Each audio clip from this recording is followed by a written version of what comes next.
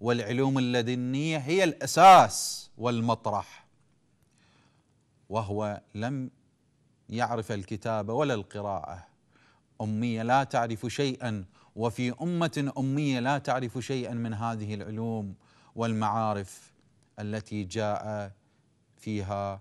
قال الله تعالى يخاطب رسوله صلى الله عليه وآله وسلم.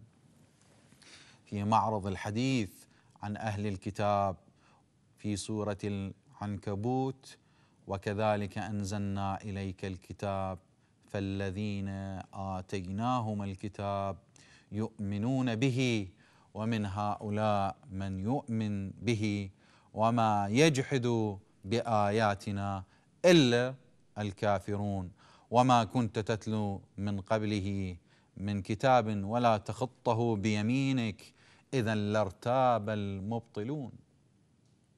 أي لو كنت لو كنت يا رسول الله تتلو من قبله من كتاب أو كنت كاتبا تخط ذلك الكتاب أو الكتب بيمينك لارتاب المبطلون. فقالوا نقله من الكتب السابقة أو جلس على تأليفه وجمعه وتنقيحه وصياغته. لكن لا هذا ولا ذاك حصل. إنما هو من عالم الغيب ومن الله عز وجل. ومن وجوه إعجازه تلك البلاغة والفصاحة. فما لا ريب فيه القرآن الكريم بوصفه كتاب هدى للناس أجمعين على سنام الذروة من الفصاحة والبلاغة. وفي المكان الذي لا يستطيع البشر مهما اوتوا من بلاغه وبيان أن يرقوا إلى مستواه. شهد بذلك الصديق والعدو والمؤمن والكافر.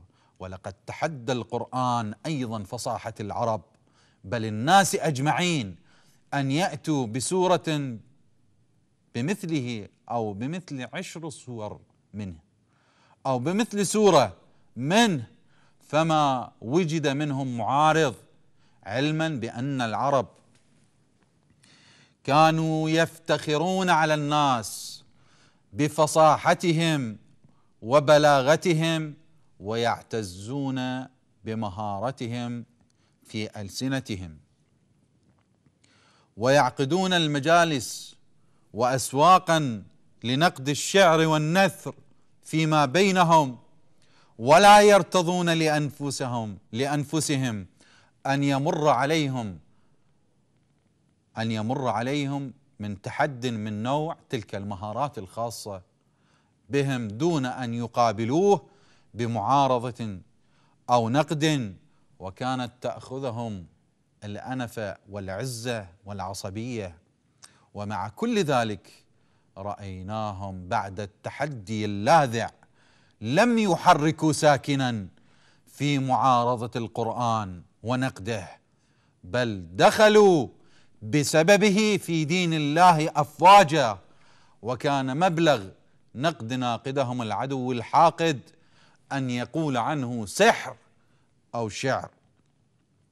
وليس هذا من النقد في شيء بل هو إقرار بعظمته وسموه وهذا الوجه من وجوه إعجاز القرآن سبق في التاريخ الإسلامي. إن كان المصباح المشع الذي أضاء للغة العربية الطريق للوصول إلى فنون المعاني والبيان والبديع.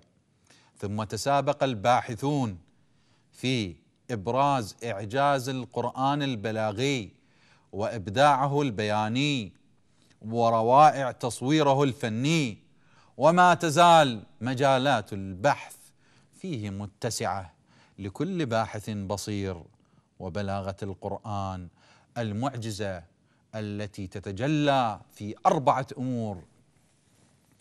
الأمر الأول إن اللفظ القرآني في مفرداته وتراكيبه في مقام الذروة من الفصاحة والبلاغة والبيان.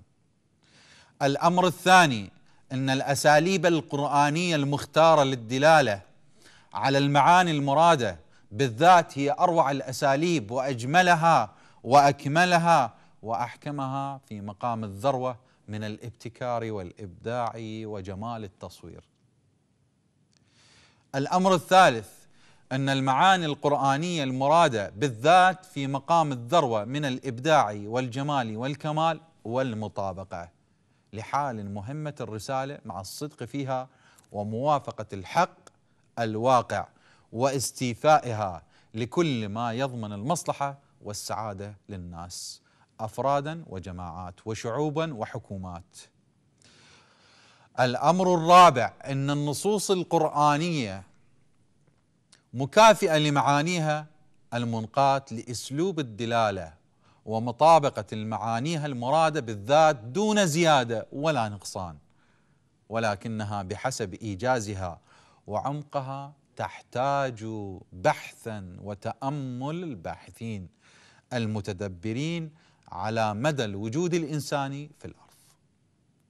ومعلوم إنه كلما ازداد شرف الألفاظ وإبداع الأسلوب ورونق المعاني المطابقة بين اللفظ والمعنى المنقى لذلك الأسلوب للدلالة والمطابقة بين هذا المعنى الأسلوبي.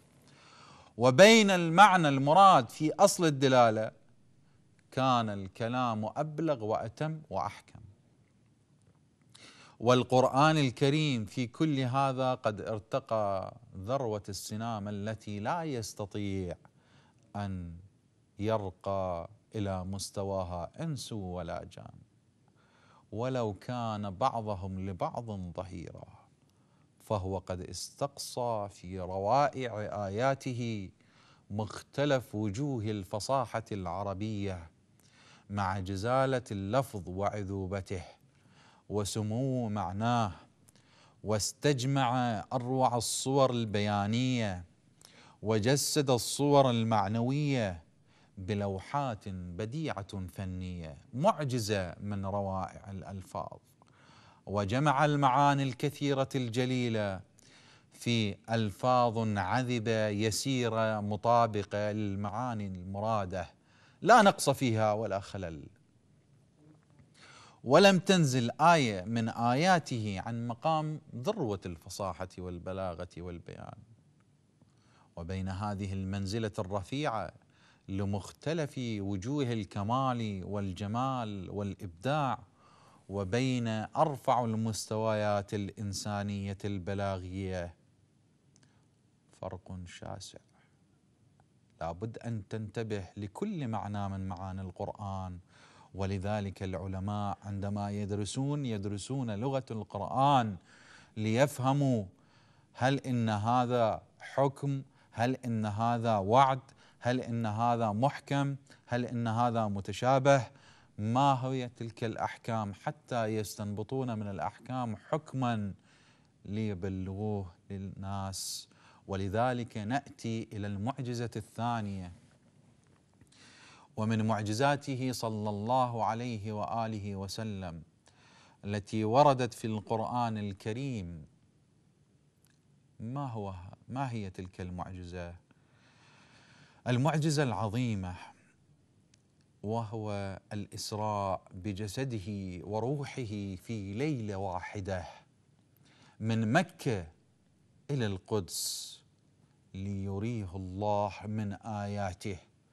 قال سبحانه وتعالى في سورة الإسراء سبحان الذي أسرى بعبده ليلا ليلا من المسجد الحرام إلى المسجد الأقصى الذي باركنا حوله لنريه من آياتنا إنه هو السميع العليم. أيها الإخوة سوف نأتيكم بعد قليل إن شاء الله تعالى.